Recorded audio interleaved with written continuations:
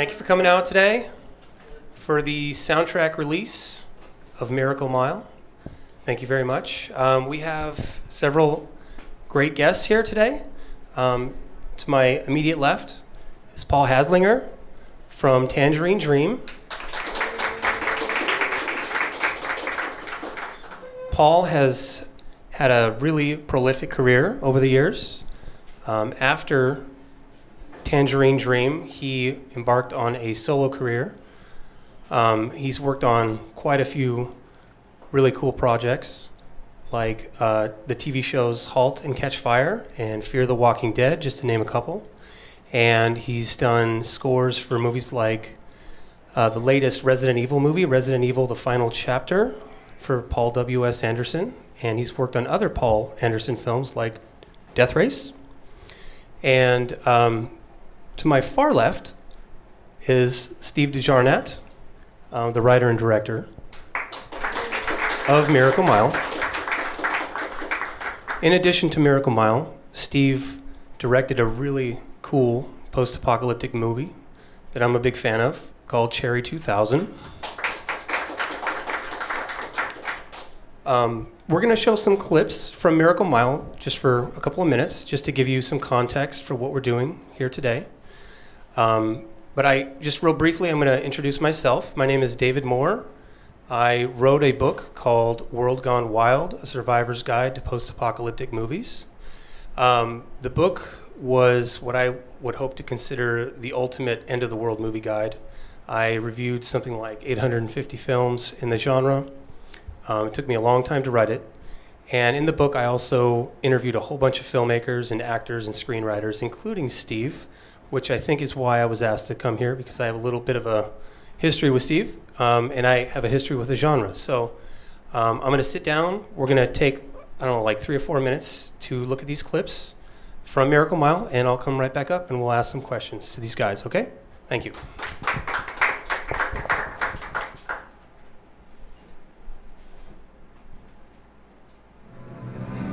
Took tens of thousands of years for civilization as we know it to reach the modern era. And it took 30 years for Harry Washello to find the right girl.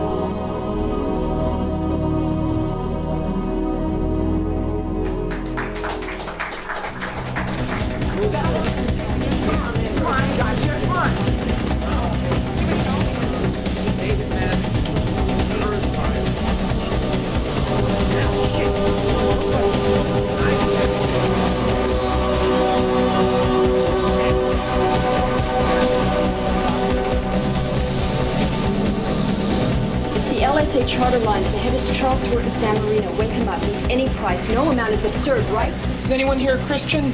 You know, like a hardcore one? I hope I can maintain. Danny Berrigan and his brother. Yeah, Bobby Seale, Dick Gregory. Um, You got these people's phone numbers? Terry, did you get a hold of him yet? No, get this lined up first. Don't waste time or there's no point. Get it? Stay calm. Optimum efficiency.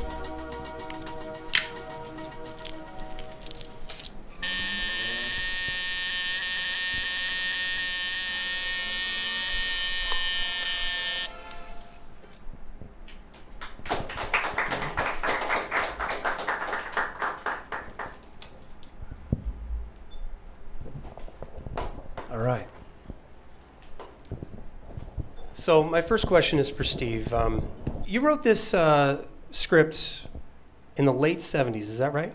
Yeah, I, well, I pitched the idea to Warner Brothers um, earlier in '79. I turned it in, I think, December of '79. So just at the very end of the '70s.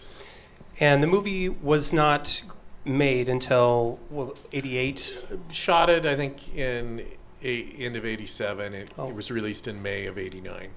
So right, right at the tail end of the Cold War, um, I was going to say something, not to get too politically invested here, but I mean, the movie came out at a very crucial time in our history, and it kind of feels like right now we're on the precipice of another Cold War nuclear apocalypse. It's this movie is just as important as it was then. Well, I like to say that it's much more likely to happen tonight, and this is before the election in November, uh, even than it was back then, where you know there were everybody's on high alert. People were you know really skilled and trained to be have mu- mutual assured destruction. And now, who's minding the store? And you know, a tweet could set things off. So yeah, it's sadly plays you know more dramatic and less comedic uh, today. I've noticed when I've run it. Yeah. Um, the movie, in essence, is a timeless film. And um, over the years, I mean, I remember when it came out, it, it had this very slow build. I mean, there were, there were people that really loved this movie when it first came out. I mean, um, I was one of them. I, as a kid, I saw it, and it just, it was amazing. I remember, I, I think I watched it on uh, VHS the first time. Um, but the movie's not a cult classic anymore. I think this movie is a verifiable classic all on its own. Um, so I just wanted to say that. That's a statement. Thank you. Um, I'm happy just being a, a, a cult oddity. well, I, I think I think Cherry 2000 is a cult classic, um, but Miracle Mile is a classic all by itself. Um, and my next question for you is that I've we're connected on Facebook, and I've seen you post pictures, and you, you have posts. It seems like every other week, at least once a month. Sorry. Well, I mean, no, no, no, it's not that. But you are going to screenings of Miracle Mile all over the world. Well, I came back from France. We it ran in fi 15 cities in 19 days. Sold out the Cinematheque. Two different articles in Cahiers du Cinema. So I'm like Jerry Lewis there now or something. Hmm. like they, they do feel that way. They're like they discovered a, you know, a, some lost classic film. I guess it's going to play in hundred theaters by the time it's done. Like, you know, art house theaters. Oh, I see. It's coming out on Blu-ray. Um, uh, Turbine uh, is coming out. Is already out that Blu-ray, and the UK Blu-ray is coming out too. So Well, what is it that you think uh, this? Why does this movie resonate so strongly all over the world? It's not just amongst film lovers and you know fans of post-apocalyptic movies like myself, but this movie is resonating on a global scale. Why do you think that is? What is it about this movie that is garnering new fans? we contemplate the end of the world these days, and so the the whole theme of the movie is what would you do if you know you were Chicken Little and you knew before everybody else did, and how would you spend that time? Would you try to get out of town and save your ass? Would you, you know, ultimately it's boiling down to I want to be with the person I love, even if I don't know them that well. So I mean, I think the tension of the times certainly does that. There is an affection for '80s, thing, all things '80s, and uh, you know the mullet. I'd like to CGI, but otherwise, you know, I do embrace the '80s-ness of it. Um, although we didn't wet the streets down and use a lot of smoke and backlight like a rock video, so it looks a little different than all the other '80s movies. But I don't know. Uh, when the film came out, I'd say 75% of the people, you know, were very positive. Some adored it, and then some people hated it. Some just thought it was the worst movie ever made, or frustrated them somehow. So there were a lot more people who vehemently didn't like it, and I don't seem to find that too much today. I guess, but but I am dealing in the cult, you know, world, which they are all fans, sort of. So Yeah. Um, I, we're not going to talk too much about Cherry 2000, but I wanted to ask you one question about Cherry 2000, and that's about the score uh, by Basil Poledouris. Um, Basil was one of the all-time great composers we ever had. Um, what led you to get Basil for that film? Well, I the, my first professional job, I got to direct part of an Alfred Hitchcock Presents pilot, um, that then turned into a TV show. So my first time on a set, I was directing John Huston, Kim Novak, Tippi Hedren, Melanie Griffith, and Steven Bauer in that classic, you know, Man from the South, the, the bet with a cigarette lighter or getting your finger cut off. So he had scored that. Um, and, you know, did meet briefly with Frank Zappa about scoring Cherry, but otherwise, you know, Basil was perfect. I think his score, the supporting cast, and Julie Weiss's costumes make that film work. If it, whatever works in that movie, um, I helped a li- little bit. The script by Malca, Michael Almereyda was quirky, but the score really makes that movie work. Yeah, I agree. Um, so when it came time to make Miracle Mile, um, when you were putting the movie together, at what point did you realize? I mean, a lot of filmmakers like Paul W. S. Anderson, uh, they they go with the same composer uh, many times. Um, why? At, the question is, at what point did you think I want somebody else? I want something totally electronic. I want Tangerine Dream. Well, I, I never thought in a million years I could get Tangerine Dream. I, I wrote the script playing the Sorcerer soundtrack and other Tangerine Dream things. I mean, that's maybe I played a little of Peter Gabriel's Birdie later or something. I don't know when that came out. That was later, I think. But when I was writing, it, I was just you know writing in the middle of the night, playing you know Sorcerer soundtracks. I still that to me is in, in my creative process is if I play that, I will imagine rocket, you know, missiles flying over and things like that. So uh, then when we had a rough cut, um, you know, we sent it to them. Paul will tell the, stuff, and John Daly stepped up of Hemdale to to pay whatever prices. We were a very low budget movie, so I was surprised that. First of all, that they wanted to do it, and then that John Daly would pay for it, and it was one of the uh, most amazing times of my life going over there to work with them. Um, Paul, let's just assume that nobody knows anything about Tangerine Dream, just for a second. Um, can you just give us a little backstory on how you became involved with Tangerine Dream in, in the early 1980s? Um, they were they had a studio in Austria and uh, they were auditioning players for a UK tour. They had their third member unexpectedly quit the band and they needed a replacement fast. Um, and they had somebody lined up, but it turned out that um, he couldn't. Uh, he he got sick on flights, so that was not good for touring. So they were auditioning players to fill in quickly. Uh, originally, just for the tour, uh, it was a '86 UK tour. And I, at the time, was studying music in Vienna and was a session player. I was in the in the studio circuit in Vienna, so I I went to the audition. Um, didn't give it much thought, honestly, and and somehow got the gig. Uh, played the tour, and then after the tour was asked to stay on for the next album. Then there was a U.S. tour coming up, so eventually just became part of the band. Mm-hmm. So it was a series of coincidences, as most things in life are. Um, one thing I've noticed about Tangerine Dream, uh, I grew up in the 80s, so I mean, Tangerine Dream was always there. It was always a part of cinema. I always associated Tangerine Dream with cinema until I figured out, oh, there's other albums too. Um, but the film projects that Tangerine Dream, as a band or a collective or whatever we, we want to call it, um, each project was radically different from the last one, the films. I mean, Sorcerer is nothing like The Keep. The Keep is nothing like Three O'Clock High or even Risky Business. Miracle Mile is very radically different than anything else. Um, how did Tangerine Dream, how did you guys go about? I mean, I know projects come to you, but when projects did come to you, how did you decide we want this project but not this one? Because each one is so different, and now we look back on these movies, and each one of them, even Near Dark or some of these some of these films, are very special movies and partly due to the fact that these have really cool scores. well, um, I think this is definitely a case where the the perspective from the outside looks different than the perspective from the inside. Um, you know, to and the honest answer is that um, how projects come to you is always a matter of coincidence and circumstance and it was the same for Tangerine Dream. Now I wasn't directly involved in project selection. That was mostly Edgar and Chris when he was in the band. but I can assure you that there was no plan.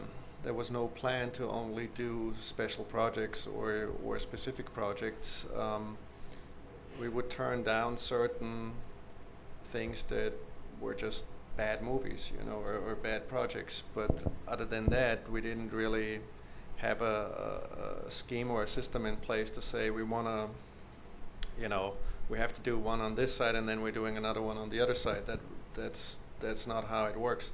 You're grateful when a good one comes along, and this hasn't changed for me, you know, to this day. You just have to be grateful when you when you get on a good project. And um, I've said this before in interviews, but the first time we watched Miracle Mile, it was like, yeah, this is a good one.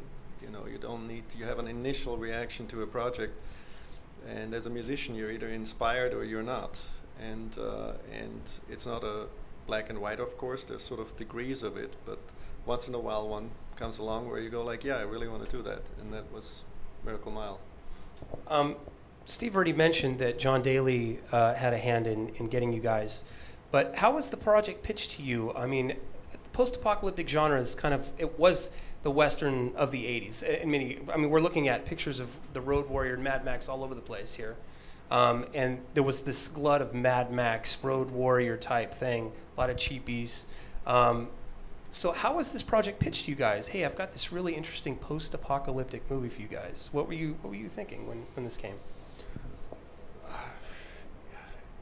you know, I mean, it, it, I don't think it was pitched in a certain way that uh,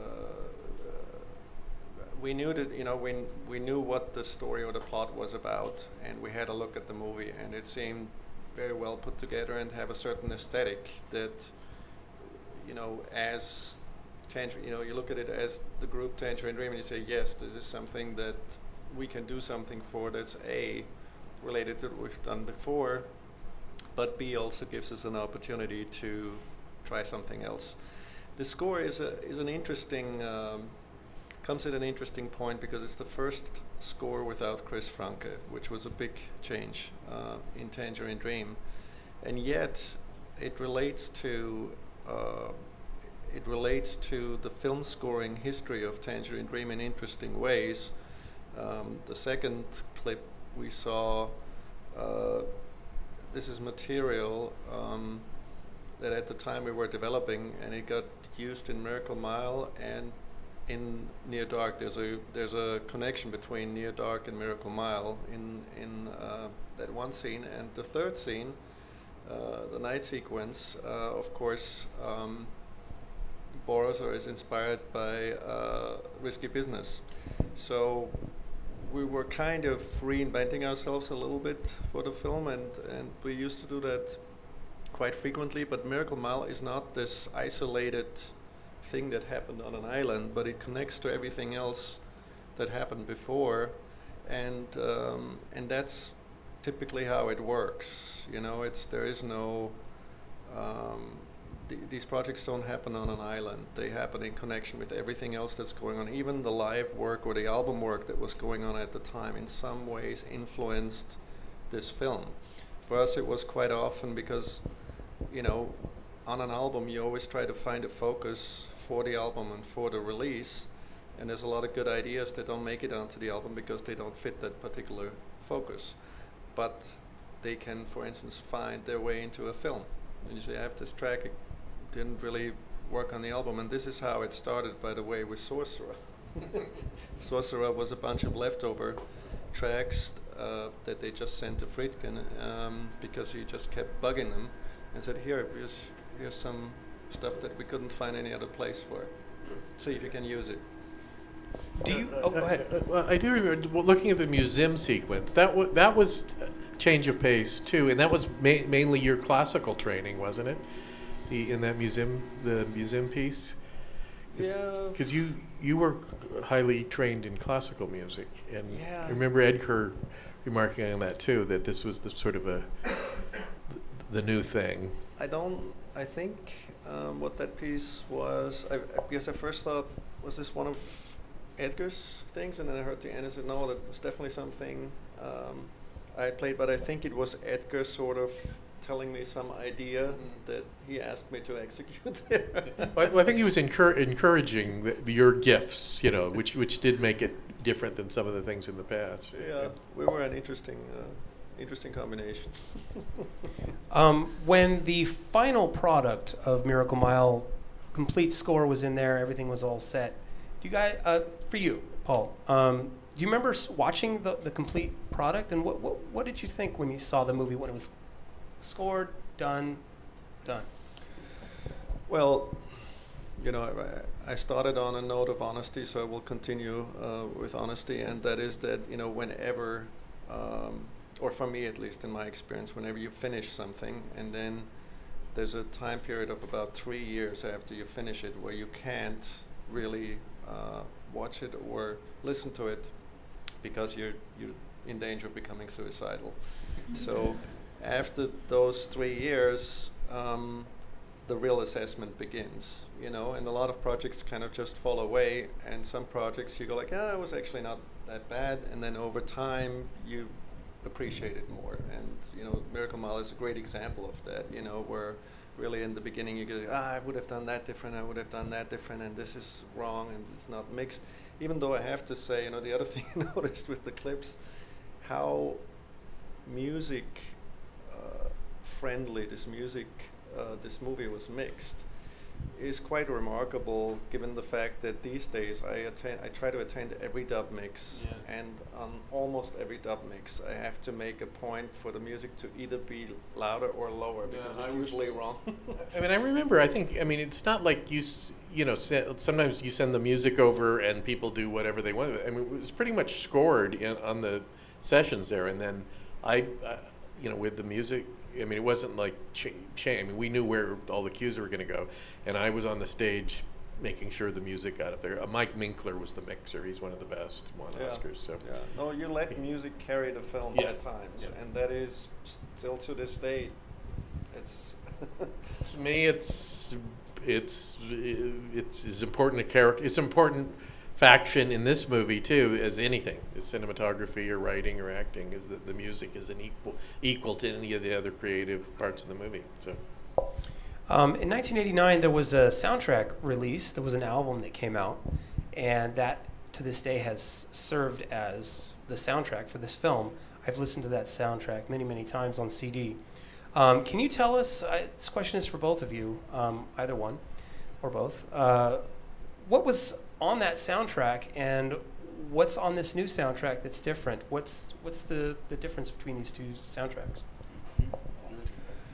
The difference is that the uh, original soundtrack was put together for private music label that we were signed to um, at the time, and it was the usual selection and um, concentration of tracks that we did for soundtracks for cues to be more, you know, consolidated as tracks. Um, so it wasn't the full score. So this release now has the soundtrack released, the original, and then also all the original score cues as they were moved, uh, as they were used in the film. Similar to the Alien uh, soundtrack that came out a while ago, where it was the original recording and then what was actually used in the in the film. and the the CD version had uh, you you know done other instrumentation and added more things in places too. I think. Yeah. We reproduced it a little bit for um, uh, for record release. Yeah. Okay. Um, Steve, uh, this is pretty much my last question for you. Um, now that this movie has snowballed into this uh, classic movie, as I've, I've said, not just a cult classic, what would you like to say to fans of this film and to the, the people who came out to, to, to meet you today? Um, you know, I just thank you, and I, lo- I love the way people in France or here too turn people onto it. They find somebody who doesn't has never seen it and run it for somebody who doesn't know anything about it, and as a litmus test. I don't know. That's the best way to watch it. If you can at four in the morning, but that's not that important. Um, I don't know. Just you know, let's change the world so it's it'll be a comedy, not a drama. Um, Paul, uh, you've had a very prolific career. You've gone on to do lots and lots of projects on your own and with Tangerine Dream. Um, now that Miracle Miles almost 30 years behind you. Um, where does this project sit for you on your proverbial shelf? Well, one that I do not consider a, waste of time. no, I mean it's it's like it's it sorts itself out over time, and there are a few ones that you're happy that you were part of, and and uh, you, f- first of all, you're fortunate if you can even say that. You know, if you've spent your life in the entertainment industry and say I've I've had a few that were actually not bad, and uh, and you know it's it's always going to be that for me, and it's also from the time in Tangerine Dream. Uh, it's just one of the fonder memories that I have. Uh, you know, I was a 23 year old kid. This was all Oh, sort wow. of new stuff for me. Touring was amazing. You know, I went from schlepping my own keyboards on and off stage to everything was taken care of. And then being thrown into film uh, was amazingly uh, stunning for me at the time. Um, and but you know, the truth is also that a lot of these films have sort of fallen away, and some didn't. Near Dark didn't. Miracle Mile didn't. Shy People to some degree didn't. And um, and you're happy if you can say that. So I'm I'm ha- this probably is my favorite one though from the from the Tangerine Dream phase. All right. Well, thank you guys so much for for taking part in this Q and A. Thank There you you very go. much. Thank you.